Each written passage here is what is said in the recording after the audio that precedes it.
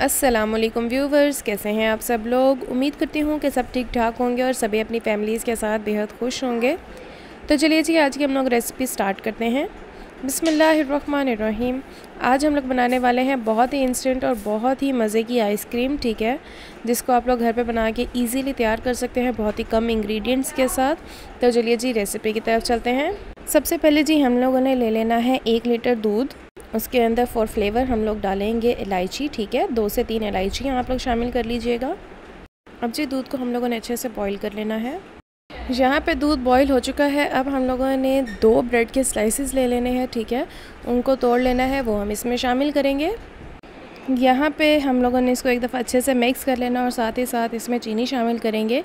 आप लोग अपने टेस्ट के हिसाब से चीनी शामिल कर सकते हैं। या मैंने three by fourth cup almost चीनी का शामिल किया है। जैसे ही चीनी हल हो जाएगी, इसके अंदर हम लोगों ने शामिल करना है कस्टर्ड स्लरी ठीक है? थ्री टेबल स्पून मैंने कस्टर्ड डेरी और पानी के साथ उसकी स्लरी प्रिपेयर कर ली, वो हम इसमें डालेंगे और इसको धीमी आँच पे फॉर ऑलमोस्ट टेन मिनट्स हम पका लेंगे। जब तक ये धीमी आँच पे पक रहा है, हम तब तक जो है वो कैरामल प्रिपेयर कर लेते हैं। इसमें थोड़े से मैंने दाने, इलायची के शामिल किए थे ताकि जो शीरा हम प्रिपेयर करें उसमें फ्लेवर आ जाए। तो वन बाई फोर्थ कप जो है वो हम लोगों ने शुगर का इसमें ऐड करना है। टोटल हमारे पास जो वन कप है वो चीनी का इस पूरी आइसक्रीम में हमने डालना है। तो वन बाई फोर्थ कप मैं इधर इस्तेमाल करूँगी और थ्री बाई फोर्थ कप मैं पहले इस्तेमाल कर चुकी हूँ। इसको सिर्फ़ हम लोगों ने हल्का सा मेल्ट करना है और हम लोगों ने कोई तार वाला शीरा प्रिपेयर नहीं करना, सिर्फ़ चीनी को हमने डिज़ोल्व करना है। यहाँ पे जो चीनी है वो अच्छे से डिज़ोल्व हो गई है और जो हमारा कस्टर्ड है उसको पकते हुए भी ऑलमोस्ट दस मिनट हो गए हैं। तो हम लोगों ने ये वाला जो शीरा है वो इसके अंदर डाल देना है और इसको अच्छे से धीमी आँच पे मज़ीद पकाना है। एक दफ़ा जो कैरामल है वो हार्ड हो जाएगा बट डोंट वरी जैसे जैसे हम चम्मच हिलाते जाएँगे तो ये अच्छे से इसमें डिज़ोल्व हो जाएगा।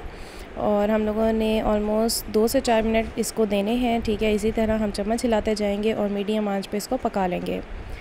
यहाँ पे ये प्रोसेस कंप्लीट हो गया है। अब बारी आती है इसको ठंडा करने की। हम ऑलमोस्ट इसको रूम टेम्परेचर पे ले आएँगे। यहाँ पे जो मिक्सचर है, वो ठंडा हो चुका है। रूम टेम्परेचर पे आ गया है। तो इसके अंदर हम लोगों ने दो पैकेट डालने हैं एवरी डे के, ठीक है? इससे ये बहुत ही क्रीमी हो जाएगा और इसका फ्लेवर में भी बहुत अच्छा खासा जो है वो डिफरेंस आएगा, ठीक है? बहुत ही क्रीमी सा, बहुत ही मज़े का इसका फ्लेवर हो जाएगा। अब जी हम लोगों ने इसको ग्राइंड कर लेना है। यहाँ पे इसको ग्राइंड कर दिया है, ठीक है? अब हम लोग किसी भी आइसक्रीम बॉक्स में इसको फ्रीज़ करने के लिए रख देंगे ओवरनाइट ठीक है? ऑलमोस्ट ट्वेंटी फोर आवर्स के बाद जो आइसक्रीम थी वो फ्रीज़ हो गई थी। इसको हमने करना है डिश आउट और हम करेंगे इन्जॉय ये है हमारी डिश की complete and final look hopefully आपको रेसिपी पसंद आई होगी। डू ट्राई दिस बहुत ही सिंपल इंग्रेडिएंट्स हैं, तमाम ही घर में अवेलेबल होते हैं। बच्चों को भी ये चीज़ें बहुत पसंद आती हैं सो घर में ही बनाएँ और बच्चों को भी दें हेल्दी वर्जन है। हम मिलेंगे मज़ीद नई और ईजी रेसिपीज़ के साथ। तब तक मुझे लाइक शेयर और सब्सक्राइब करना मत भूलिएगा। मुझे अपनी दो में याद रखिएगा। टिल देन अल्लाह हाफिज़।